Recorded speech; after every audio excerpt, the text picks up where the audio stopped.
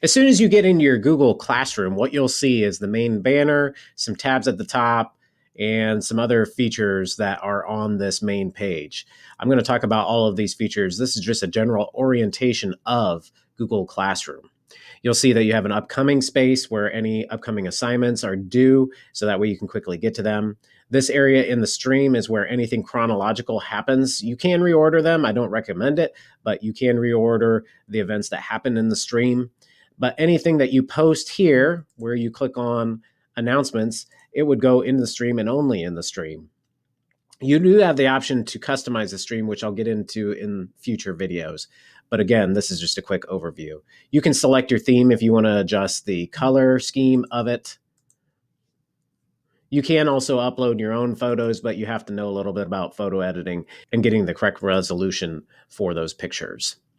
The other thing you'll want to keep in mind is that along here at the top, you have a classwork tab. This classwork tab is where any assignments you create exist. I don't recommend using the stream for assignments.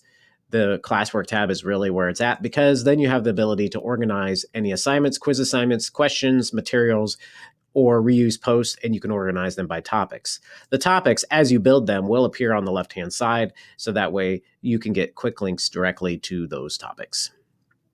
You also have a People tab, and the People tab is where any students or teachers that are connected to your classroom will reside. From here, you can email, you can message, you can mute students, you can add teachers and give them the capability of being able to participate in your class. So that way, you're co teachers. Otherwise, your students will use the class code, which is listed here. It's also listed in the stream.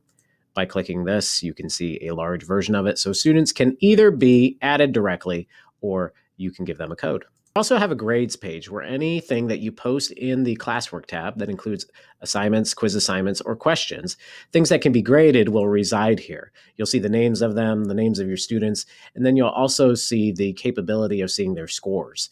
You can also adjust the scores directly from here and also get directly to a student's work from here as it's hot linked all the way through. The other thing you'll need to keep in mind is that you have a settings button. That gear allows you to adjust the class details as well as some other settings. And I will get into more detail as to what each of these are, but I wanted to make sure that you had a quick overview of what each of these tabs were. The last item that I will point out that's very important is the question mark on the bottom left. This is where you can report any issues that you're having with Google Classroom directly to Google or you can actually request features. So Google actually does pay attention to this. So any feedback that you give them, they will consider. And the more feedback on a topic, the more likely they are to adjust Google Classroom to suit teacher needs. That's a quick orientation of Google Classroom.